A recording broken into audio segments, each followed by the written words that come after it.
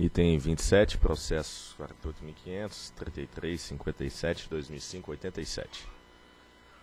Recurso administrativo interposto pela Mage Energia SA, Linear Participações e Incorporações Limitada, MCA Energia e Barragem Limitada e Centrais Elétricas do Norte do Brasil, em face do despacho 47 de 2014 da SGH, que não aceitou os estudos de viabilidade da usina hidrelétrica Cachoeirão, com potência estimada de referência nos estudos de inventário hidrelétrico de 64 MW, localizada no rio Juruena, no estado de Mato Grosso, e transferiu para a condição de inativo o registro para a realização de tais estudos, concedido por meio do ofício 808-2005 SGH ANEL.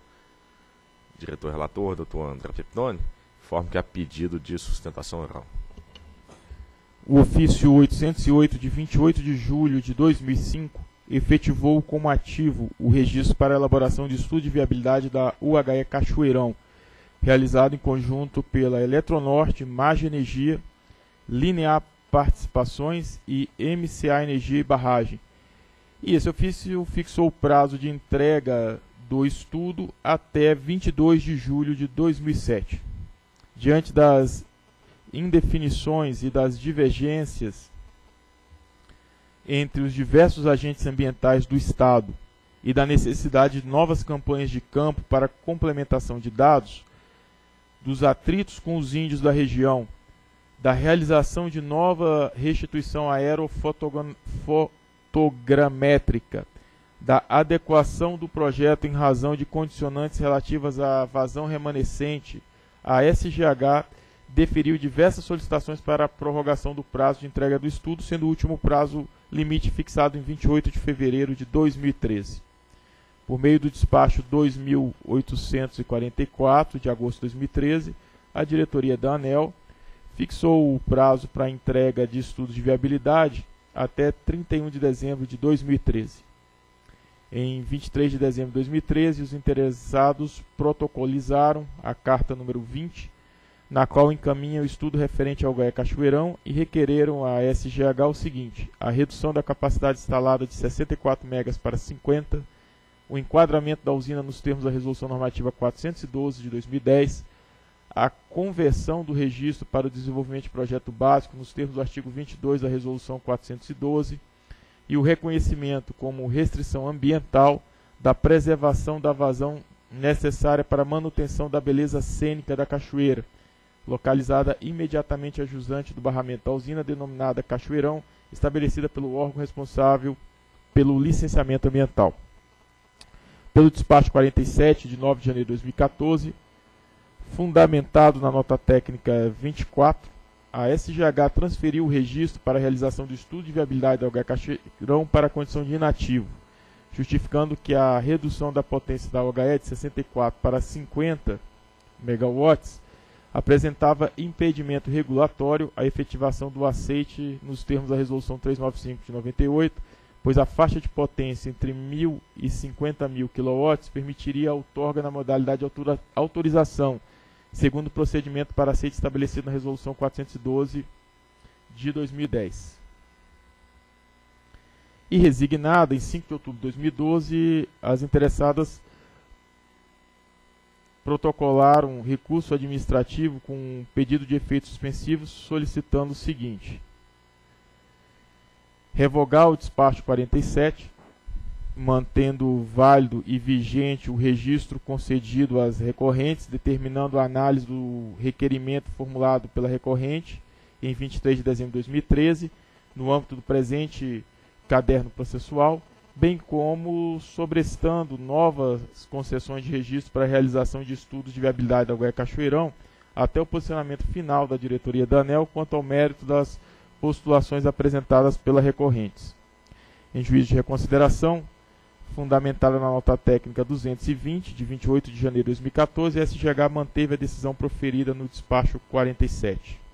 É o relatório. A sustentação oral será feita pelo Dr. Rodrigo Quintana, representante da Mage Energia S.A. Bom dia.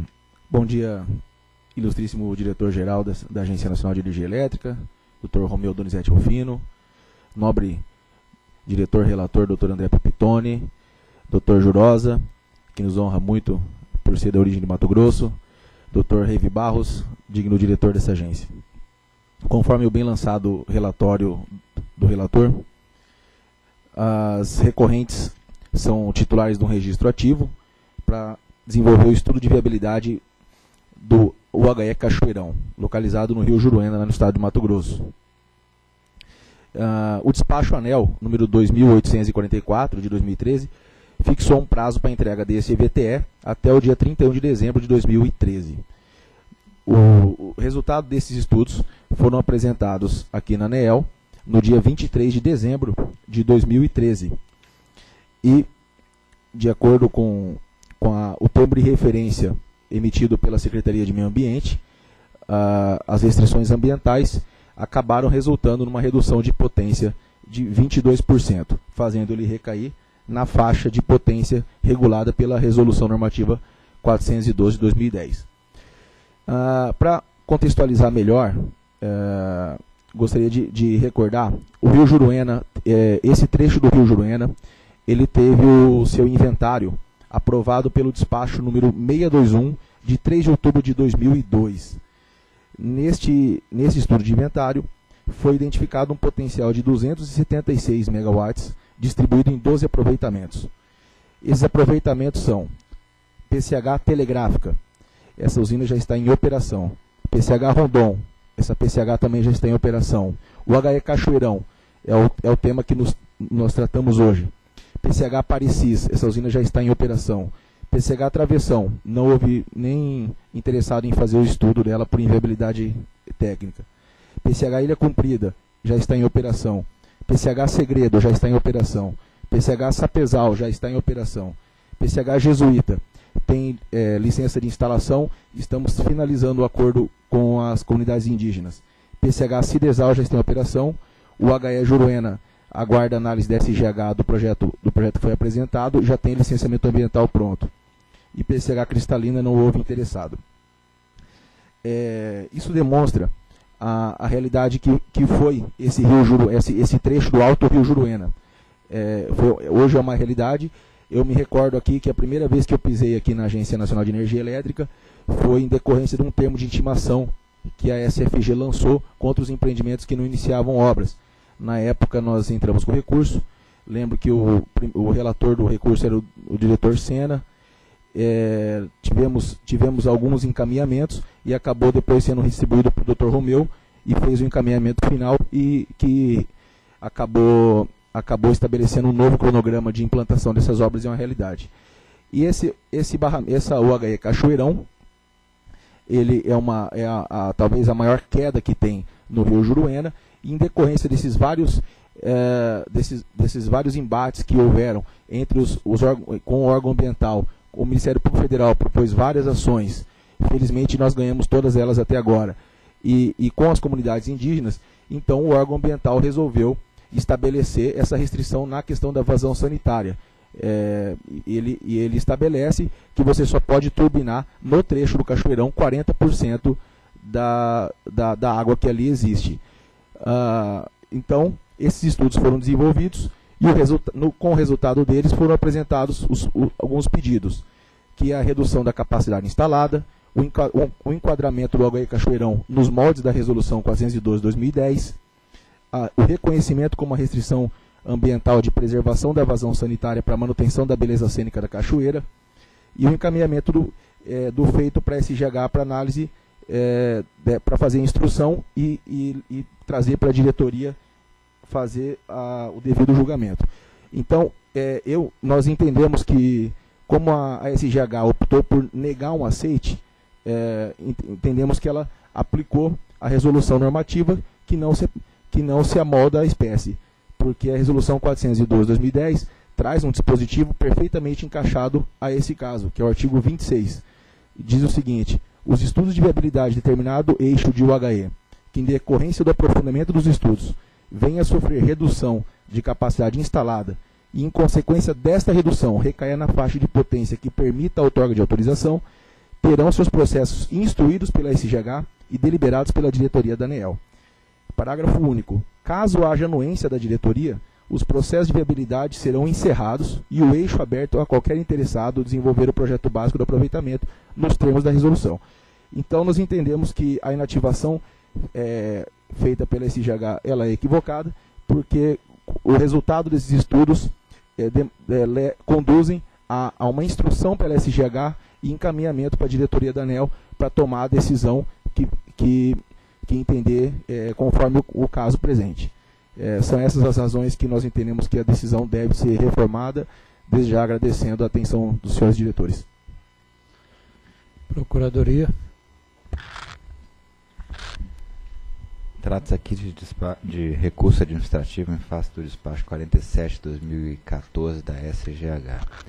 A Procuradoria não exarou parecer nesse caso, por isso se manifesta pela manutenção do despacho recorrido, especialmente naquilo que diz respeito ao não enquadramento nesse, desse, desse empreendimento no, na lista dos empreendimentos abarcados pelo artigo 22 da Resolução 412, então devendo o caso necessariamente ser examinado à luz do artigo 26, parágrafo único da mesma Resolução 412. Inicialmente, destaca-se que o recurso é tempestivo, atendendo, portanto, aos critérios de admissibilidade estabelecidos na Resolução 273 de 2007. As interessadas justificaram o pleito de redução da capacidade instalada da Algaia Cachoeirão de 64 MW para 50 em razão de restrição ambiental imposta pela SEMA, órgão licenciador do Estado do Mato Grosso, contida no termo de referência para a elaboração do EIA-RIMA da usina informaram que a restrição ambiental visava preservar os ecossistemas naturais do trecho ensecado, assim como a beleza cênica da cachoeira, localizada imediatamente a jusante do barramento. Quanto ao mérito, a SGH informou que os dados entregues pelas titulares e os parâmetros dos estudos de inventário aprovados percebeu divergência significativa no tocante à potência instalada, energia firme e as unidades geradoras. Em continuação, segundo a área técnica, foi avaliado que a redução da potência proposta pelas titulares representava impedimento regulatório para o aceite e aprovação dos estudos nos termos da, da Resolução 395, pois, ao se considerar a potência de 50 MW apresentada, passaria a coexistir dois regimes regulatórios atrelados ao mesmo empreendimento. Além disso, senhores diretores, ponderou que a área técnica, a SGH, ponderou que a possibilidade de reenquadramento ao HE Cachoeirão nos moldes da Resolução 412-2010 estava sendo analisada em autos apartados pela área técnica e que a análise estava paralisada, uma vez que o despacho 47-2014 estava suspenso conforme o comunicado número 3-2014. Conquanto considere relevantes as questões de forma suscitada pela área técnica em seu trabalho, esta relatoria se permite divergir da proposta de atuação da nota técnica 220 da SGH, por identificar prejudicialidade entre o processo para análise do enquadramento OHE Cachoeirão e o processo para o desenvolvimento do estudo de viabilidade dessa usina. Por esse motivo, a decisão sobre a inativação do registro teria que ser sobrestada até a conclusão da análise do estudo apresentado pela interessada, que indica a necessidade de reenquadramento. Ou seja, os dois processos não podem coexistir no, no mesmo ambiente, ou é um ou é o outro. A questão prejudicial consiste em juízo autônomo, que condiciona outro julgamento dele dependente. Com efeito, a necessidade ou não de reenquadramento teria de ser decidida antes da análise do estudo de viabilidade, sob pena de prejudicar o exame da questão principal. Não se pode desconsiderar que a elaboração de estudo de viabilidade requer desembolsos significativos. Desse modo, é natural que, diante da restrição imposta pelo órgão ambiental responsável pelo licenciamento da usina, o empreendedor procure investir naquele arranjo que julgue ter as melhores condições de êxito e, assim, minimizar os custos do processo. O que pondera, senhores diretores, é que se existe uma sinalização do órgão ambiental na linha de que o empreendimento não poderá se concretizar com 64 megas, não é razoável exigir que o, o empreendedor desenvolva o projeto com 64, ele seja reprovado e assim passe a fazer novo projeto de 50 megas. Quanto ao pleito de conversão automática, verifica se não ser possível acatar, ou seja, sair da 395 que trata de um estudo de viabilidade para 412 que trata de um de um projeto básico por ser objeto de autorização. O artigo 26 da Resolução Normativa 412, ele assim dispõe que os estudos de viabilidade de determinado eixo UHE que, em decorrência do aprofundamento dos estudos, venha a sofrer redução da capacidade instalada, o que é o caso, e em consequência dessa redução recaia na faixa de potência que permita a outorga de autorização, serão seus processos instruídos pelo SGH e deliberados pela diretoria da ANEL. E diz o parágrafo único que, caso haja anuência da diretoria, os processos de viabilidade serão encerrados e o eixo aberto para qualquer interessado desenvolver o projeto básico do aproveitamento nos termos da presente resolução. Ou seja, o artigo 26 da 412 ele guarda guarda a possibilidade da competição, de qualquer interessado diante da nova situação identificada que possa adentrar o processo. Verifica-se nos autos que as interessadas, diante das restrições ambientais identificadas pelo, pelo órgão licenciador ambiental e da consequente redução da capacidade instalada de 64 para 50 MW, encaminharam o relatório seguindo as diretrizes de projeto básico. Situação semelhante foi analisada pela diretoria colegiada no âmbito do processo 48.500.005956-2013, dígito 16, a qual o colegiado determinou que a SGH analisasse tecnicamente o pleito de reenquadramento considerado, considerando as condicionantes indicadas pelo órgão ambiental, no caso um, a, da SEMA também, e o processo de licenciamento ambiental conduzido pelo órgão estadual. Nesse sentido, entende-se que a área técnica deve analisar o estudo e o pleito de reenquadramento apresentado pelas interessadas, considerando as restrições ambientais apontadas pelo órgão responsável pelo licenciamento da usina e submeter a deliberação da diretoria nos termos do artigo 26 da Resolução 412. Caso esta acate o pleito de reenquadramento, o processo que trata do estudo de viabilidade deverá ser então encerrado e o eixo aberto para qualquer outro interessado desenvolver o projeto básico do aproveitamento. Nesse caso, ao se considerar que, que as interessadas afirmaram ter apresentado o estudo no formato de projeto básico, não há óbice a que este estudo seja acolhido como pedido de registro, nos termos do artigo 3 da 412 de 2010. Os prazos definidos nessa norma devem ser contados a partir do momento da eventual abertura do eixo para outros interessados. A partir de tal análise das considerações apresentadas no processo 48.500.003357-2005, dígito 87, voto por conhecer do recurso interposto pela empresa MAGE Energia, Linear Participação, NCA Energia e Eletronorte, em face do disposto 40, em face do despacho 47/2014 emitido pela SGH e no mérito dar-lhe parcial provimento com o objetivo de revogar o despacho 47 de 9 de janeiro de 2014, reestabelecer na condição de ativo o registro para realização do estudo de viabilidade da OHE Cachoeirão convalidando o, o ofício 808 de 28 de julho de 2005, é que nós estamos convalidando porque na época, 2005, a prática era o registro ser por ofício. E depois nós já tomamos decisão, evoluímos, aprimoramos nosso rito administrativo e tomamos decisão por despacho. Então aqui no caso o ofício precisa ser convalidado. Vamos negar o pleito de conversão do registro para desenvolvimento de projeto básico nos termos do artigo 22, porque precisa se avaliar de fato a existência dessas condicionantes ambientais. Só após essa avaliação é que poderemos dirimir esse, esse ponto e determinar que a SGH então analise tecnicamente o pleito, o, tecnicamente o pleito de reenquadramento, considerando a condicionante ambiental indicada pelo órgão responsável pelo licenciamento da usina e submeta a deliberação da diretoria nos termos do artigo 26 da Resolução Normativa 412. É o voto. Em discussão. Dizer, aqui, doutor André, então, em síntese, o que o senhor está propondo é, primeiro, de fato, se tem mesmo a restrição ambiental e ela é impositiva no sentido de que uh, essa redução seja é, de 64 para 50, porque o 50 merece uma olhada cuidadosa, né? porque o 50 está exatamente no limite da é. autorização. Então, não estou aqui lançando nenhuma suspeita, mas é o divisor e para 50 significa autorizar, e acima de 50 tem que licitar. Então, certamente essa análise tem que ser feita de uma maneira cuidadosa, porque, claro, tem que buscar o aproveitamento ótimo. É evidente que a questão ambiental é relevante, mas ela não é só ela determinante. Então tem que ver essa questão com cuidado. Mais uma vez analisado e comprovado que de fato não tem viabilidade, né, do ponto de vista ambiental,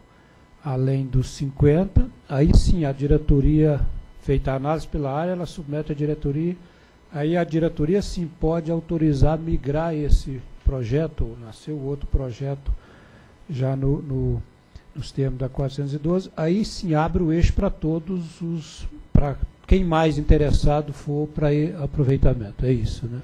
Só uma sutileza, doutor Romeu.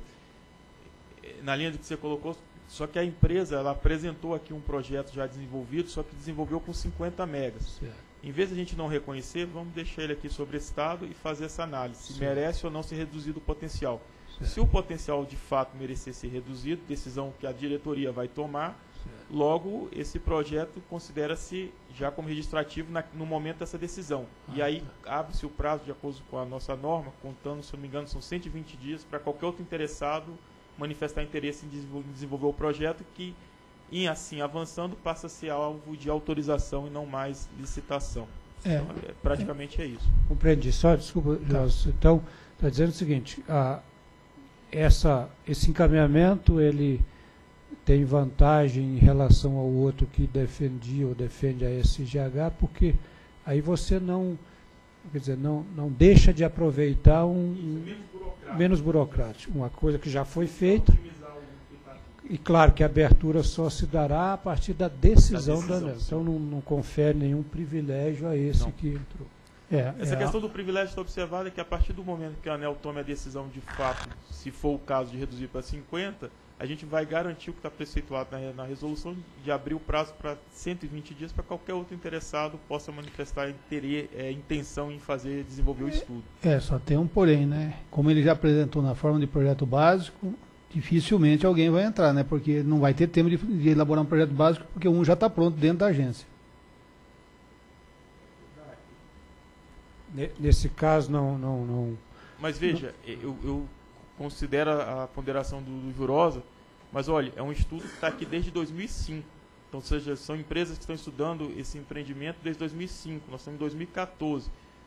Também eu acho que não seria justo um grupo que está há 10 anos se dedicando, estudando e investindo sem, sem certeza de, de retorno. Ou seja, todo investimento que foi feito aqui é na expectativa de aprovação. Não tem, não tem certeza, o projeto não pode ser aprovado.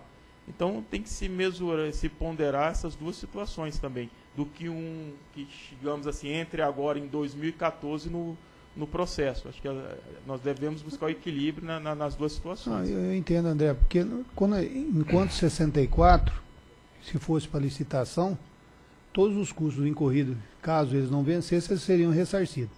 Eles não teriam perda nenhuma de, de custo.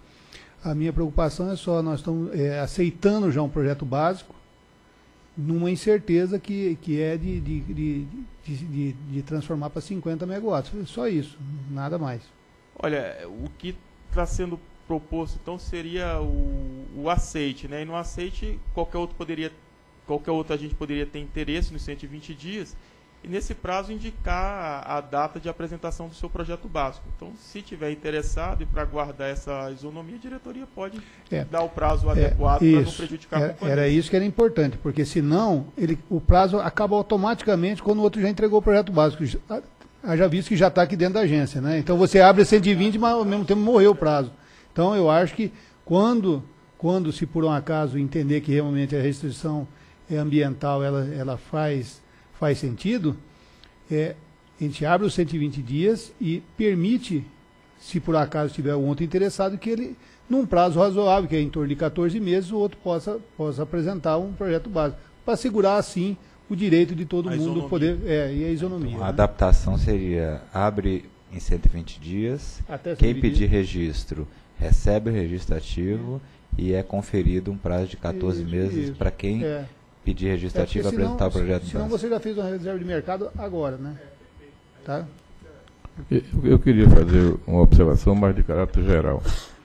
Primeiro, a gente precisa simplificar efetivamente os processos. Né? Toda vez que se fala que tem um processo aqui na ANEL desde 2005, desde 2002, eu fico achando que tem alguma coisa errada. Segundo, o momento que nós estamos vivendo hoje, nós precisamos efetivamente aumentar a oferta de energia. Eu acho que a ANEL tem que contribuir com isso aí quando simplifica os seus processos. Quer dizer, toda a interpretação que venha a simplificar o processo, toda a interpretação que venha a garantir a, a transparência no processo e que assegure efetivamente a competição, ela deve ser buscada. Então, é, eu acho que as interpretações que estão sendo feitas aqui, inicialmente pela área com todo o zelo, é natural, eu acho que ela deve colocar isso aí, mas também deve ser dada uma sinalização no sentido de essa posição. Existe uma outra alternativa, no sentido que a gente garanta a transparência, garanta a competição e garanta principalmente a, a simplificação do processo, eu acho que deve ser perseguido, principalmente no momento que nós estamos vivendo hoje. Toda vez que você induzir a implantação de PCH com curto prazo, com geração distribuída e somente com o déficit de energia que nós estamos vendo hoje, seria salutar. Portanto, a minha observação é mais de caráter geral, sem analisar especificamente o mérito. Eu concordo também com, com isso, Eu acho que a proposta, com esse cuidado que foi aqui explicitado, ela, ela atende, né? Quer dizer, na verdade, o, o que eu estou entendendo que nós estamos aqui encaminhando, num primeiro momento, é vamos analisar se essa redução de 64 para 50 de fato é, faz sentido, não é isso? Em fazendo, em sendo pertinente aprovar essa redução, como ela cai na faixa de autorização, aí é a preocupação que o doutor Jurosa coloca, muito pertinente. Então, agora vamos garantir a isonomia com qualquer outro processo para abrir de fato a possibilidade para que todos que têm interesse, registrando esse interesse né, na janela própria, aí conceda o prazo razoável. Porque, é claro, sem diminuir a, a, a importância do que o Rave coloca, mas é claro que é, se você for olhar no detalhe é, alguns projetos que demoram muito tempo, em, em, grande medida também essa demora, né, isso não pode ser só atribuído à ANEL, né, tem outras questões, nem foi isso que você disse, mas eu só estou explicitando que a busca, eu acho que é por parte da ANEL, dos agentes, dos órgãos ambientais e todos que estão envolvidos, e é um trabalho que a ANEL está né, tá consciente né, e está é, se estruturando para fazer melhor, né, inclusive com uma interação com os órgãos ambientais para a gente caminhar de maneira mais célere nessa questão de viabilizar o aproveitamento que em última análise é que interessa. Né? Exato, em uma experiência exitosa que nós já exercemos isso no passado, trouxemos celeridade, agora vamos diante de, um, de uma interação que trouxe resultados positivos e profícuos para a cadeia de PCH, repetir os, as ações exitosas e buscar essa interação com o órgão ambiental para dar celeridade, tanto na análise ambiental quanto na análise do projeto interno aqui da agência, para disponibilizar à sociedade esses megawatts que o diretor Rive também colocou no momento em que o país precisa. E também aproveitando, doutor meu, rememoro aqui as considerações do senador Rubem Figueiró, quando da sabatina na última quarta-feira na Comissão de Infraestrutura, onde foi questionado se a agência apoiava ou não as PCHs. Onde, diante do que foi debatido aqui pelas colocações do diretor-geral, do diretor Reive e as ponderações do Jurosa, é claro que a Agência Nacional de Energia Elétrica apoia as pequenas centrais hidrelétricas. Entendemos que é um empreendimento importante, de pequeno porte, de, de, de geração distribuída, que tem muito a, a agregar na matriz elétrica nacional, energética nacional, sobretudo no momento quando atual, onde nós empenhamos os esforços para aumentar a oferta de, de geração, tanto para atender a carga, como também para buscar a redução de preço diante de uma maior oferta.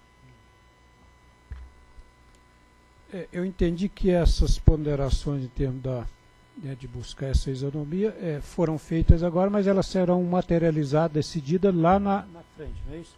É. Vamos dizer que na realidade, no momento de decidir se houver a redução, naquele momento abre para 120 dias e garante o prazo de 14 meses que a norma diz para qualquer outro interessado apresentar projeto básico. Porque, por alguma razão, se não for aprovada a ideia da redução de 64%, tudo isso deixa de ter relevância. Então é só, na hipótese de de fato reconhecer essa redução, né, que tem E aqui reforçando também mais uma vez a necessidade de interação com o órgão ambiental, que para dirimir, essa questão nós vamos ter que inter, interagir, interagir, com o órgão licenciador do Estado do Mato Grosso. Ok? Então, em votação. Eu voto com o relator. Também acompanho o relator.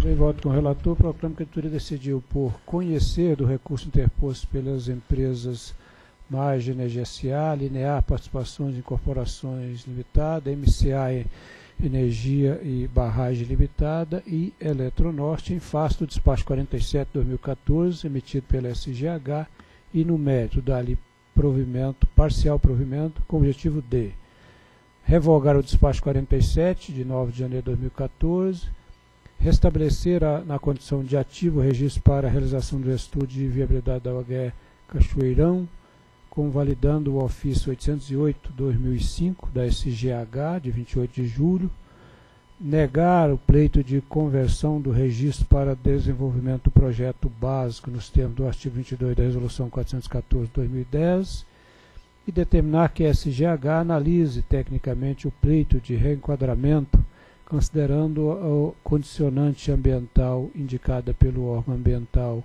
responsável pelo licenciamento da usina e submeta a deliberação pela diretoria colegiada nos termos do artigo 26 da Resolução Normativa 412-2010. Próximo.